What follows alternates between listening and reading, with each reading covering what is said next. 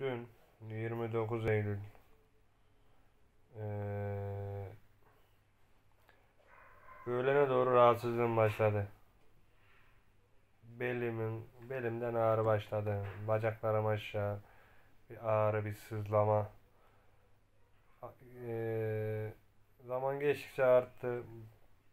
Başım ağrıyor. Ateşle, ateşim çıkıyordu sürekli. Akşama kadar öyle idare ettim. Sonra akşam eve geldim direkt hastaneye. Eve bile çıkmadım. Gittim test verdim. Eve zor geldim. Arabayı zor sürdüm. Eve geldim.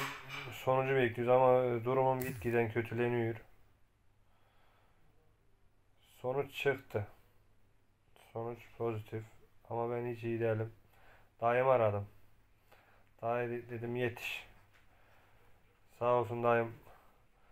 Defne yaprağı yağı. Şu elimde gördüğünüz. Bunu, bunu aldı geldi. Sağ olsun adam. Ama eee, bu arada gözüm, burnum, ağzım kapandı. Ağrıdan vücudum uyuştu hissetmiyorum. Yani sağa sola dönemiyorum. Beni başka kendi eee, eşim döndürüyor, dayım döndürüyor. Nefes alamıyorum. Gözlerim kan çanağına döndü. Ya öldüm ya. Başımda ağlamaya başladılar. Sonra dayım bunu bunu getirdi yetiştirdi. Ambulansı da çağırmışlar. Bunu direkt ağzıma burnuma sıktı. Vücuduma da eee, bu eee zeytinyağıyla karıştırıp işte bunun farklı şeyleri varmış. Sağ olsun ağrım sızım kalmadı. Bir başımda ağrı var. Şu beni kurtaran oldu ya. Bu oh dipdir oldum çok şükür. Bunu Enver Baltaş var.